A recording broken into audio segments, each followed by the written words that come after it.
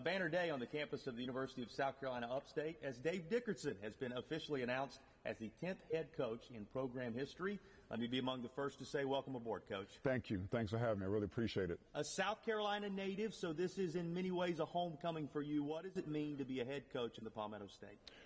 Well, I've been waiting for a long time to get back to the state. Obviously, I left in 1985 to uh, be a student at the University of Maryland, where I played basketball there, and and I, um, after completion of graduating from the University of Maryland, I've coached for 27 years, and I've always wanted to come back to the state. And this was um, a really good opportunity uh, to get back to a state that I've always loved, that I've always identified myself um, being a part of, and getting a chance to get close to my family, in which I have uh, five older sisters and a lot of nieces and nephews, and some brother-in-laws and, and sister-in-laws, and all those things.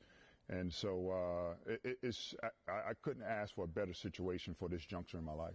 Folks are familiar with your playing days at Maryland. Obviously, you said a 27-year coaching journey that has taken you from the likes of Gardner Webb just across the line to Ohio State, beginning things at your alma mater, and then a head coach at Tulane. You've coached in Final Fours, in national championship games, most recently as a part of the NBA's Utah Jazz.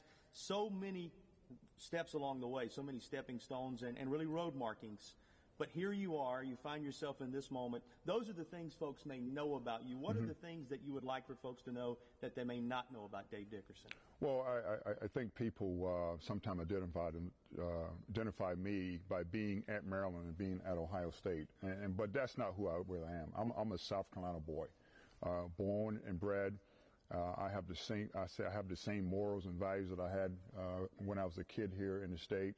Uh, um, we have a, very loving and caring and, and a faith-based family in which I've never deviated from that. Um, I, I think people need to know that, first of all, I would love to be known as a great basketball coach, but what I want to be known as is a, a hell of a husband and a great father. And uh, my wife, Lorette, and my son, uh, Dave III, are the two most important people to, uh, in my life outside of my family here in Olar uh, Charleston and Savannah, Georgia.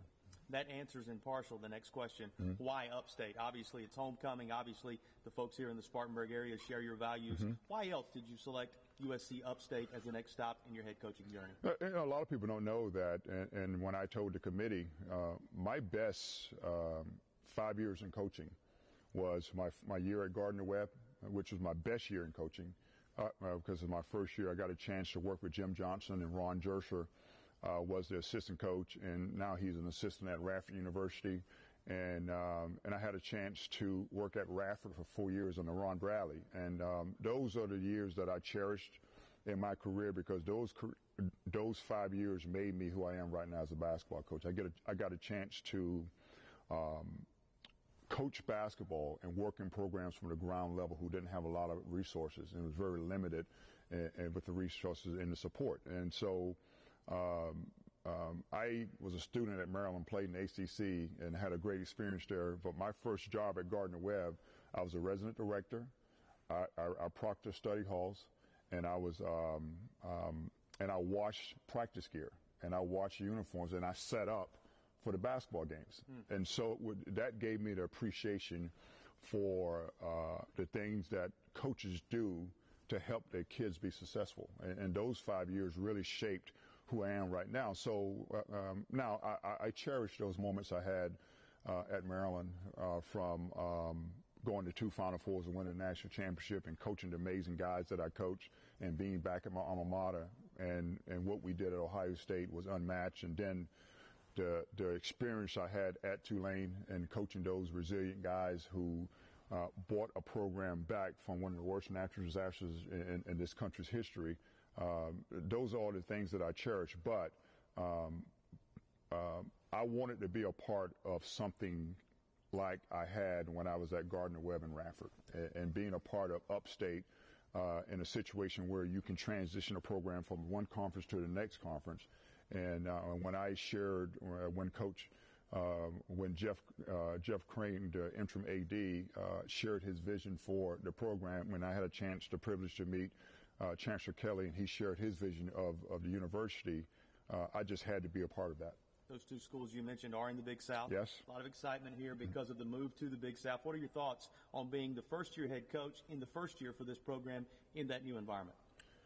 It's something I'm always going to cherish. Um, um, you know, um, the Big South Conference is a really good conference, and most importantly, it has really good coaches and great ambassadors for the university uh, in the Big South, and um, and having to be uh, a, a, part of that back in my home state is something I always want to cherish, and um, and I want people to know that. Um, this is a badge of honor for me. Uh, this is something that I, I want. Uh, this is something that I needed.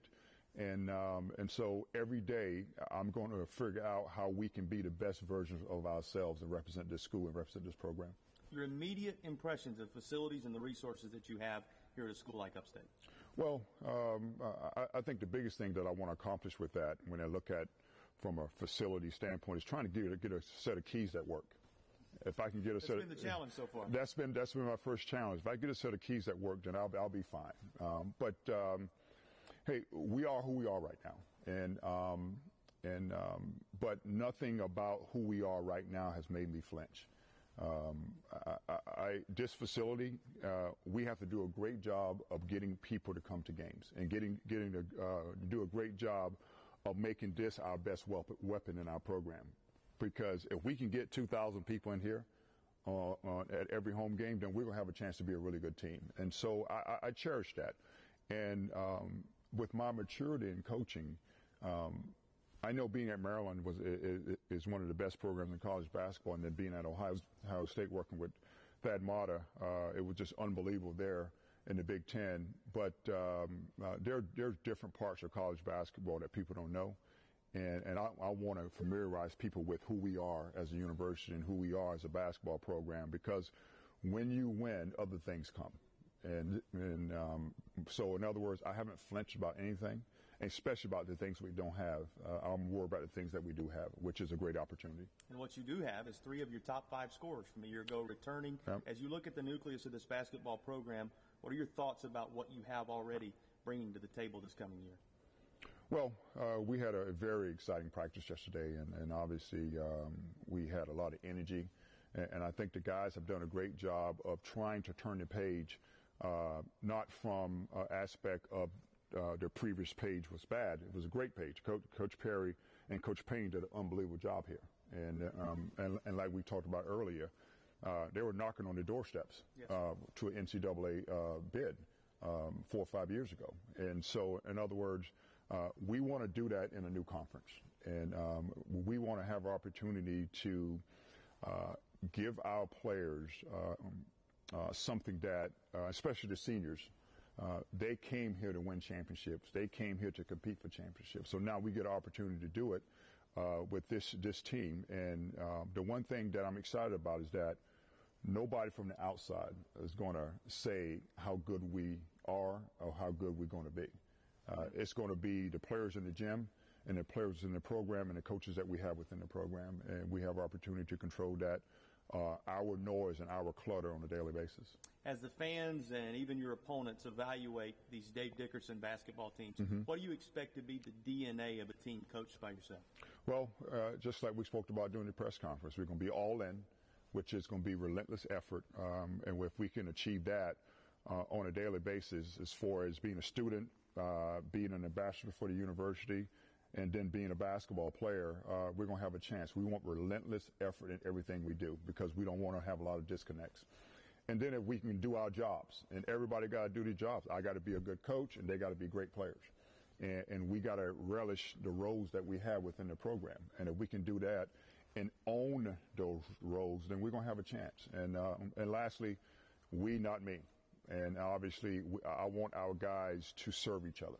And and how and how you get your blessings is that you give blessings to other people. And so now we got to serve each other from that aspect of being unselfish um, on the offensive end. We got to share the basketball. And, and we talked about earlier, um, our team at Maryland that won the national championship in 02, uh, 2002, averaged 18.3 assists a game. And that's something I want to bring to this program. So we got to uh, but most importantly, we got to figure out how we can become a good defensive team. And, and obviously, um, the staple of who I am as a coach is going to be man to man and be in your face and be relentless. And uh, and if we can achieve that through um, Friday's practice and throughout the rest of the semester and then during the summer, and we can add a couple pieces to the program, then we're going to have a very relentless team that's going to play for each other. Obviously, part of the challenge is to bottle up the excitement that right now exists Mm-hmm. related to this hire. You don't have to travel far from this room to hear them talking about how excited they are about bringing you on Mm-hmm. board, having a South Carolina guy lead this program who has the pedigree and experience that you have. You have a chance right now to speak to that Spartan Nation, that fan base. What is your direct message to those who are going to be the partners in building this program to the next level? To our fans and, and to our students first, and to our administration, and to the workers uh, at the university, the, the instructors, the administration, everyone that, that that has a hand in making this university the great university it is right now. I want all in. I want everybody to be all in. Uh, I want us to be aggressive when we come to games. I want us to be fanatic, fan- fanatical in the stands. Uh, I, I want us to give our team the energy and the and identity that I want our team to play with on a daily basis. And, uh, and if we can create an environment where we can be all in at everything we do, and from our student athletes, from our administration, from most importantly the students here, uh, because the students are the lifeline of the program. If you can get their excitement uh, um, and bring the reason why they came to Upstate to our arena, then that's going to give us a chance to be really good. So all in, uh, um, and, and we want to be all inclusive with the university, with the students, with the administration, and with our community, which is a great city of Spartanburg. You see how contagious his energy is going to be. He's Dave Dickerson, the 10th basketball coach in upstate history. You want to come out and be a part of what he's building here in Spartanburg. Thanks for taking time to get to know a little more about the new upstate basketball coach. And once again, coach, congratulations and welcome aboard. Thanks for having me. Really appreciate it.